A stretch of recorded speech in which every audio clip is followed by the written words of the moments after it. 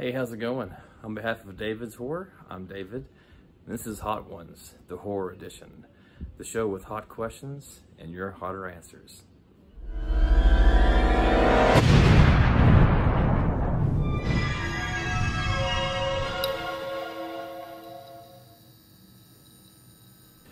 Hey everyone, welcome to Hot Ones, the Horror Edition.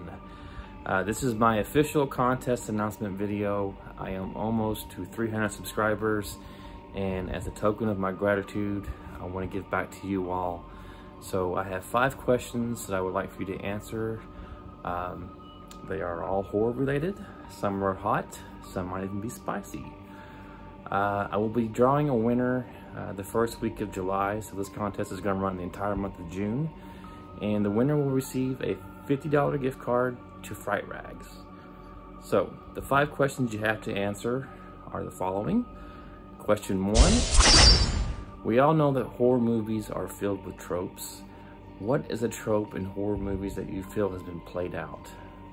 Uh, it can be, you know, running away from a killer upstairs. It could be the cursed object from a foreign land, uh, a house a haunted past, uh, realizing you have a phone in your pocket and then going to call someone and there's no cell service. Horror movies are just filled with tropes. So tell me what is one trope that you think has been just played out? Uh, question two. Not all horror movies are created equally. In fact, there have been some really bad ones. So if you had the ability to completely erase a movie from its existence, what would it be? It can be from a franchise, it can be a standalone movie. Just tell me any movie that you would like to see erased from existence. Question three, the final girls. Nancy Thompson, Laurie Strode, Sidney Prescott. Who would you marry? Who would you And who would you kill? And why? Question four,